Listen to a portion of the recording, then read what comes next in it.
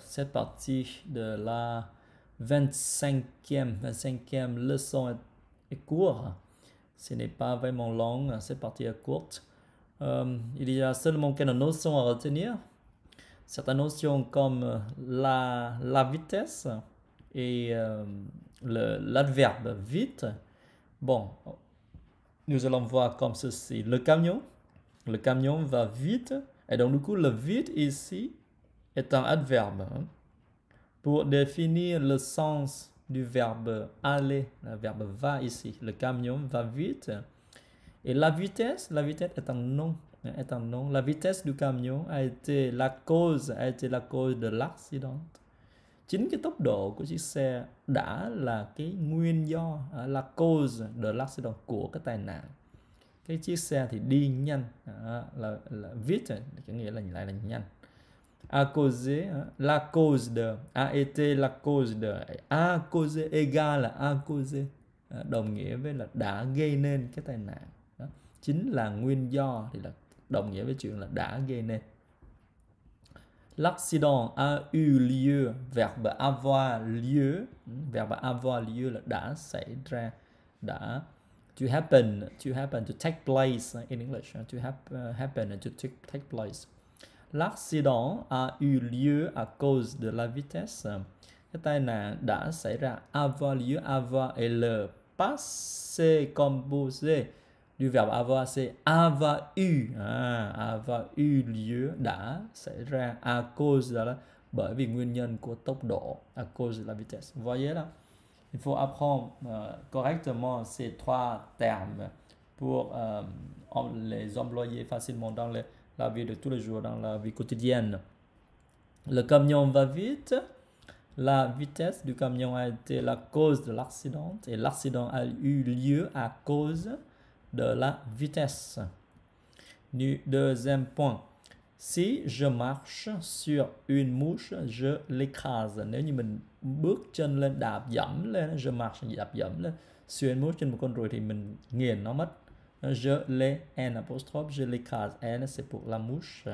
Verbe écraser có nghĩa là nghiền nát bẹp dí luôn đấy. D'habitude là thông thường d'habitude je me lève à 7 heures. Thông thường mình thức dậy lúc 7 giờ. J'ai l'habitude de me lever à 7 heures.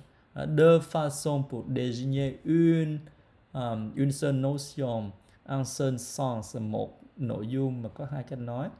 D'habitude je me lève à etc ok hoặc là mình có cái thói quen avoir l'habitude and apostrophe c'est un nom maintenant sẽ ça c'est c'est un adverbe du temps trạng từ chỉ thời gian còn mình lại là danh từ rồi.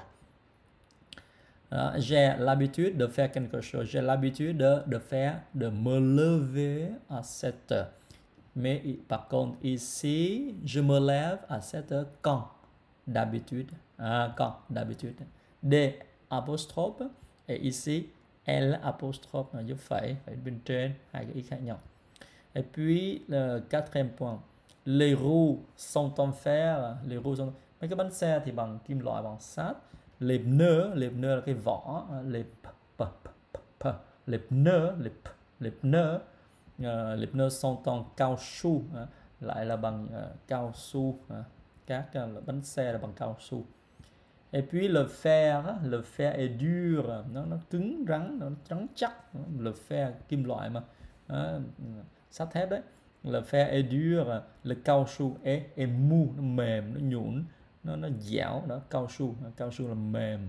À, là cao su là mềm. La pomme, à, cái trái táo est dur, la pomme est dur, trái táo est cứng. La poivre, pardon, la poire, la poire, cái trái lê thì est molle thì mềm puisque mole est un adjectif uh, féminin tính từ một tính từ giống cái uh, mu adjectif masculin tính từ dùng được. Cái dur adjectif uh, masculin et dur et l'adjectif féminin. Attention attention c'est ok. Et le verbe devoir hành động là bắt buộc phải buộc phải làm điều gì đó. Je dois tu dois il doit nous devons vous devez il doivent ok? Je devrais demain, j'ai dû đã participe passé le verbe du verbe devoir j'ai dû mình đã phải mình là đã phải rồi quá khứ